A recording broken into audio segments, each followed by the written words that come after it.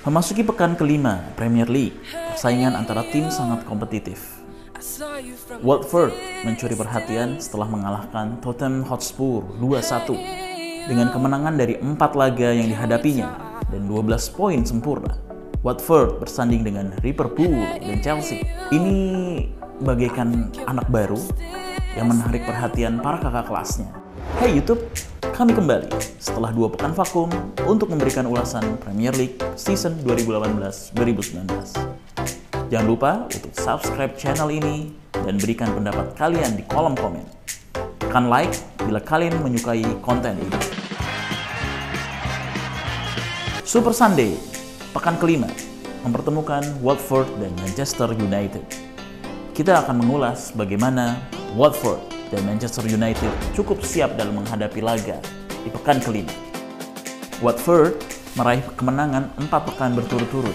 Pertanyaannya, apakah tren ini terus berlanjut atau flop? Bro, rekor ini merupakan rekor baru bagi Watford. Javi Gracia dan pasukan The Hornet sangat pede untuk saat ini. Mereka begitu menikmati atmosfer kemenangan dan atmosfer The Vicky Road home bagi Watford tapi kan modal PD saja tidak cukup.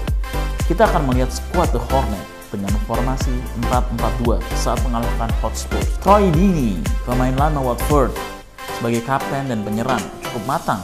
Terbukti dengan dua gol yang mengembalikan moral para pemain Watford saat tertinggal dari Hotspurs. Lini tengah yang mengaktifkan attacking mode on.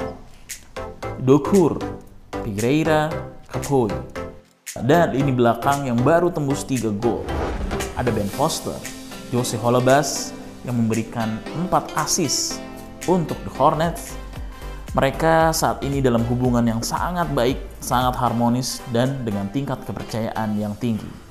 Lalu bagaimana dengan Manchester United? Manchester United meyakini bahwa Romero Lukaku kembali ke performanya dengan bukti dua gol ke uang Burnley.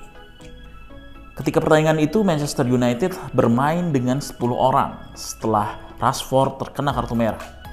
Dan headline di media Inggris tidak terlalu menyoroti kemenangan MU, tapi malah reaksi Jose Mourinho. Mourinho menyebut Rashford naif dan impulsif karena tindakan Rashford yang terpancing back Burnley Pills Bartley di menit 76. Sangat tidak perlu, terlebih MU sudah unggul 2 gol. Mau menyebut Rashford sebagai anak kecil yang naif dan Bradley pria yang berpengalaman. Tidak itu saja, kemenangan MU menjadi drama antara fans, manajemen, dan the special one, Mourinho. Sebelum pertandingan melawan Bradley, fans mengibarkan banner dari sebuah pesawat bertuliskan Ed Woodward, spesialis in failure. Jok Mourinho yang sinikal terlontar sebelum pertandingan. Dia menyebutkan kalau manajemen MU tidak akan membuangnya dan dia, Mourinho, tidak takut. Karena menurutnya untuk membuang dirinya, manajemen harus mengeluarkan uang yang sangat banyak. Lebih-lebih setelah MU menang, Mourinho mengeluarkan joke yang bernada sinikal kembali. Dia mengatakan bahwa spanduk yang dibentangkan oleh fans MU sebelum pertandingan menggunakan pesawat yang ia sewa. Memang hubungan Mourinho dan manajemen MU tidak harmonis. Sebabnya transfer window musim panas yang lalu di mana Mo gagal mendapatkan pemain-pemain yang ia inginkan untuk musim ini. Pekan kelima, pertemuan tim dengan tingkat percaya diri yang tinggi serta harmonis, Watford bertemu dengan tim dengan drama dan konflik, Manchester United. Siapa yang kalian jagokan? Comment below.